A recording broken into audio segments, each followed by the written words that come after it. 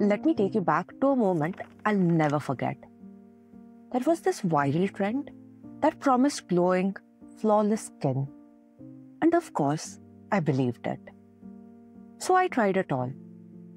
I layered acids such as glycolic acid, which is an alpha hydroxy acid, or salicylic acid, which is a beta hydroxy acid.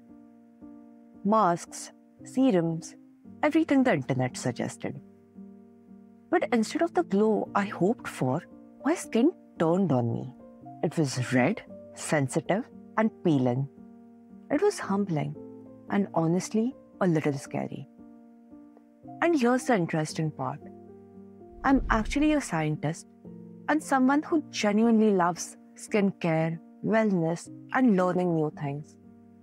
You would think I would have known better, but I still fell into the trap. Maybe you have been there too? Trying something just because everyone else was? That was me, and honestly, it backfired. Hello there, and a warm welcome to the Mindful Desi. Think of it as our little space to talk about skincare, wellness, and mindful living with a touch of science, but always kept simple and real. I'll share what's worked for me, what hasn't, and the lessons I've learned along the way. My hope is that something here makes your own journey feel a little lighter too. Back then, I believed more steps meant better results. I thought the longer my routine, the better my skin will look. So my evenings became this long ritual with cleanser, toner, essence, serums, masks, you name it, I used it. And at first, it felt exciting, almost comforting, like I was really taking care of myself. But over time, things started changing. The glow faded. My skin turned red, reactive, and even plain water started to sting. That was the wake up call. And it hit me that my skin didn't need more. It desperately needed balance. So here's what was really happening. Our skin has this natural barrier. Think of it like a brick wall. The skin cells are the bricks, and our natural oils and ceramides are the mortar holding it all together. When that wall is strong, it does its job beautifully, keeping the water in and keeping the irritants out. But with too many strong products, I started breaking down that mortar. Imagine cracks in a wall. Now, water can leak out and the irritants can slip in.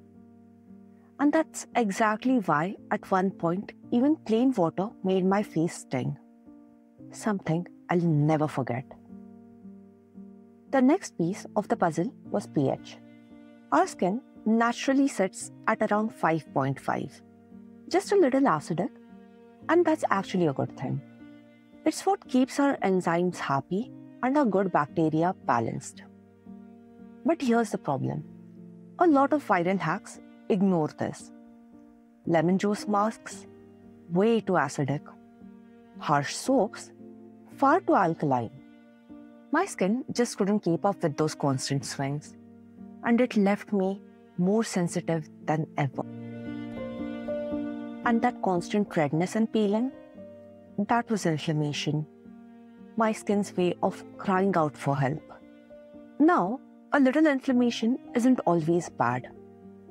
It's actually part of how our body heals, like when you get a small cut.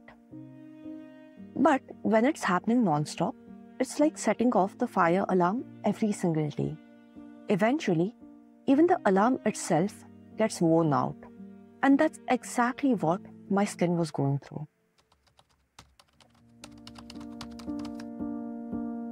So I went back to the basics.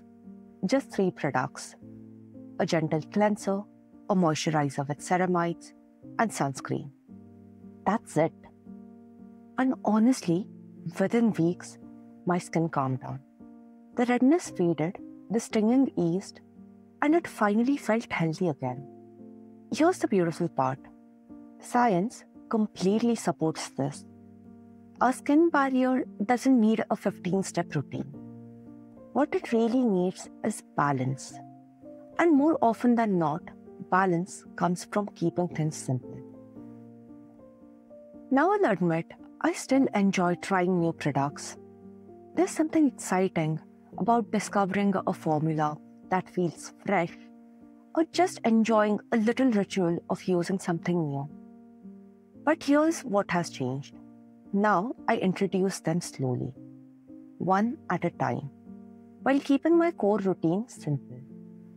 That way, I still get the joy of exploring something new without overwhelming my skin or my wallet. For me, it's never about cutting products out completely. It's about being mindful and choosing the ones that actually add value instead of just adding more clutter.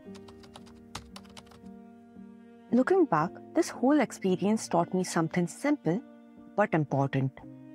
Our skin doesn't need everything, it just needs enough. And when we find that balance, it creates a sense of peace, not just for our skin, but often for life as well. So, if you have ever felt lost or overwhelmed in skincare, maybe this can be a gentle reminder. Less clutter, more clarity. Cheers to keeping things simple, staying mindful, and staying curious. If you enjoyed this little chat, the best way to support is to like the video, share it with someone who might need it, and subscribe so we can keep learning together. And I would love to hear from you too. Have you ever been through something like this? Or is there a topic you would like me to cover next? Drop it in the comments. I would love to connect. In the upcoming video, we will explore how sunscreen acts like a daily shield, protecting all the care we put into our skin.